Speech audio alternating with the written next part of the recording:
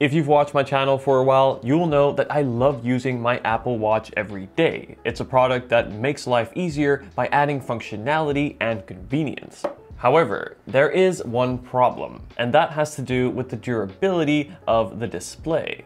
After just a few months of use, my SE2 and even Series 8 already show hairline scratches on the display. This is not good, so today I want to find a solution. Now, there are many ways uh, to protect the display on your Apple Watch, uh, so after some research, I narrowed this down into the five main categories and ordered one of each to see which of these is and which of these are not worth your money. Believe me, uh, after testing all of them, I can tell you that some really are, and others, well, they're really not. All of these screen protectors are bought from Amazon, and I will leave all the purchase links to the best match for your region in the video description. But before we start, I am doing a giveaway on this brand new Apple Watch Series 8 in Midnight. Uh, this one is new, so there's no scratches on the display yet.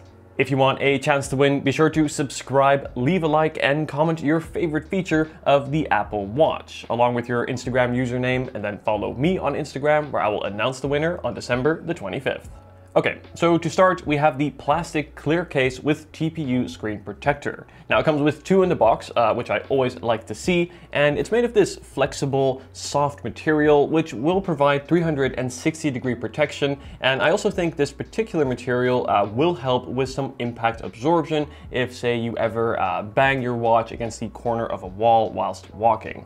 But after using it, I can tell you that this particular option uh, of the five that we're gonna be looking at today scores at the bottom of my list, and there's several reasons why.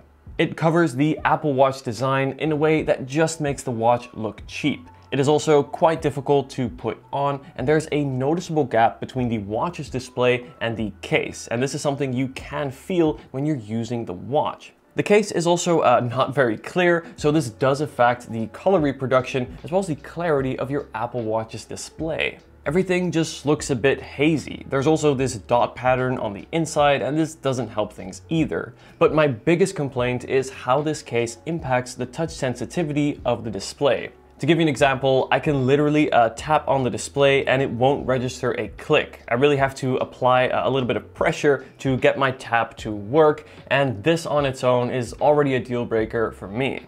Now, I will be testing the durability of each of these screen protection options. Uh, I thought to do this, I would use a set of keys as I think this is a reasonable object uh, that your watch may come into contact with. Now, being made out of plastic, uh, this particular option could easily be scratched by my keys uh, with deeper grooves when I apply more pressure. Uh, but thankfully, the case was just as hard to take off as it was to put on. Okay, so we're not off to a great start, uh, but this next option though looks more promising. So the second option is the bumper with glass screen protector and is essentially a hybrid between a case and a glass screen protector. It also comes with two included in the box and easily snaps onto the sides of your watch. Now the uh, glass on this option is clear and thus won't affect the clarity uh, or the color reproduction of your Apple Watch.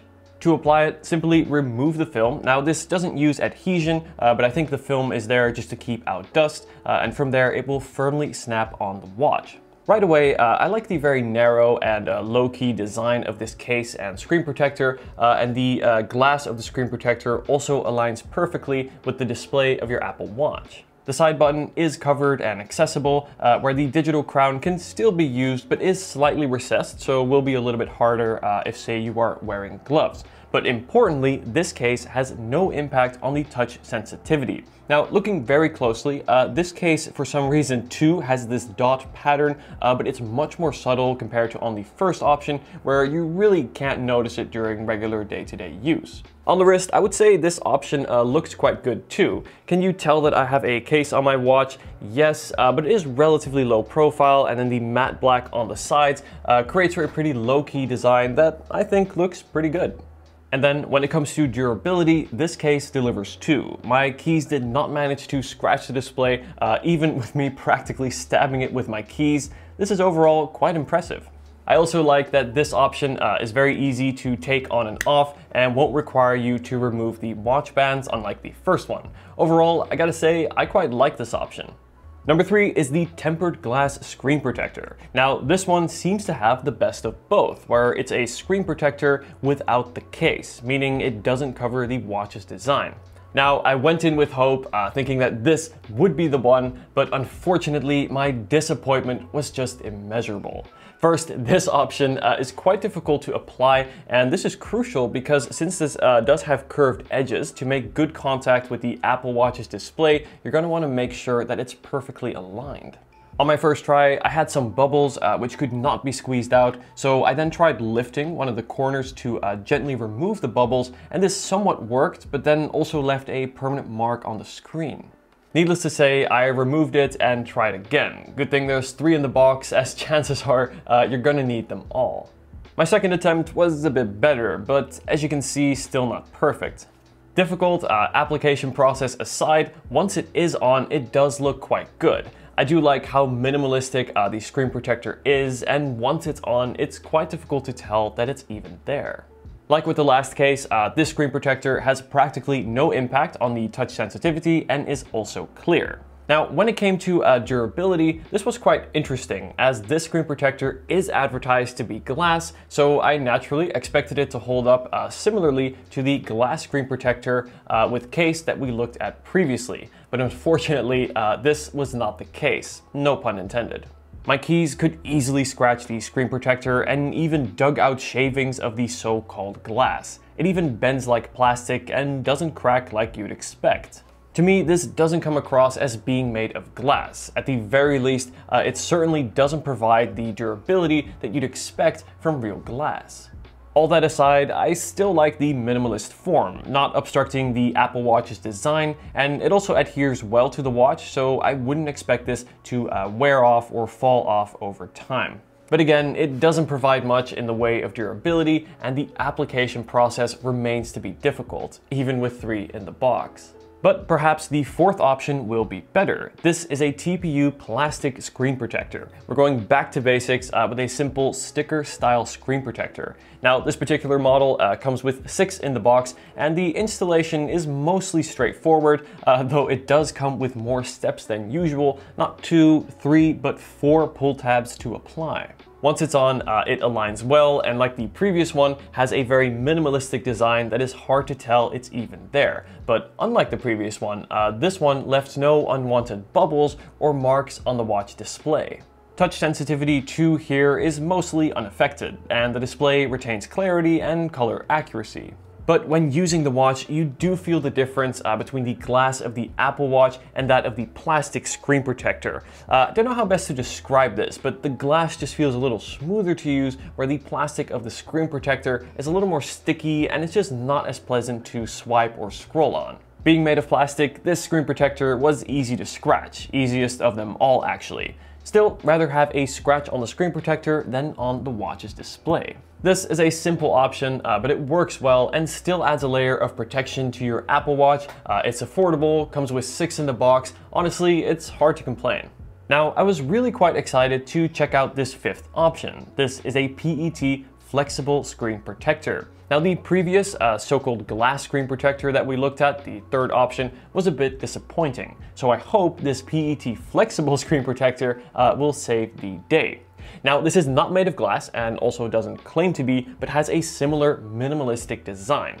Installation was easy thanks to the included uh, frame as well as the accompanying video and once it's on it looks almost perfect and aligned very well. I just have one tiny mark uh, but I expect this more to be due to user error so thankfully there are two included in the box. This one here too uh, is very minimal and when you touch it, uh, it definitely feels better than the plastic of the previous screen protector, feeling much more akin to the glass that's on the Apple Watch. Touch sensitivity, uh, clarity, and colors are also not affected. So far, so good. In terms of durability, uh, it fared similarly to the third option, easily getting scratches from my keys, but it did stick onto the watch very well. In fact, better than any of the other options, so this one likely won't peel uh, or fall off over time. It is the most expensive option of all the ones we looked at today, uh, but for that price, you do get a very straightforward uh, and stress-free application process that I think for some will be worth it. Plus, once it's on, uh, it does look quite good and provides a pretty nice finished product. Okay, so after testing all five screen protectors, what is the verdict?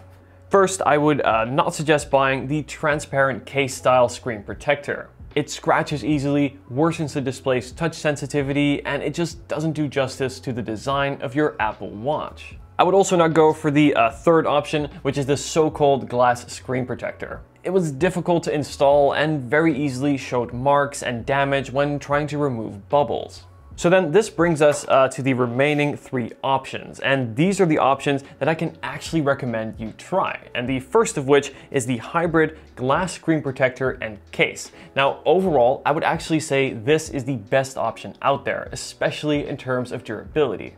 Not getting a single scratch from my keys, the glass is also clear and feels good to the touch. Yes, it's not the most minimalistic design, uh, but it is still low profile. And then also uh, the fourth option, which is the simple sticker style screen protector. I like this one more than I thought. It comes with many in the box and the application process is reasonably easy uh, and once it is on you barely notice it. Yes, it doesn't feel as nice as some of the other options and does scratch easily, but it is cheap and still offers a layer of protection. And then finally, uh, there is the fifth option, and this is the PET screen protector. Now, this one is a bit more expensive, uh, but is really a good version of the third option that we looked at. It is easy to apply with the included frame, uh, which will also mean it aligns perfectly. It feels good to the touch. If you want something that is easy and will just work, this is the one to get. Okay, so that gives you a look at the five main screen protector options for your Apple Watch, uh, whether it be the SE, SE2, Series 7, or 8, and my thoughts on them. So at the end of the day, uh, which one do I use? Well, I think for day-to-day -day usage, I'm gonna go with the PET screen protector for its easy application and generally good feel. However, for days of travel, uh, I will hold on to the hybrid case with glass screen protector for that extra durability. But which one is your favorite? Let me know in the comments and let's have a chat. Let me know if you have any questions. Uh, as always, guys, I will leave all the purchase links down in the description. And if you haven't seen it yet, I highly recommend watching my iPhone 14 uh, screen protector comparison, similar to this video, where I compare the main types and find out which is worth buying. I've also done a full Apple Watch SE2 guide to help you get the most out of your Apple Watch. I'll leave those videos linked at the end. Thanks again for watching, guys, and I'll see you in the next video. Take care.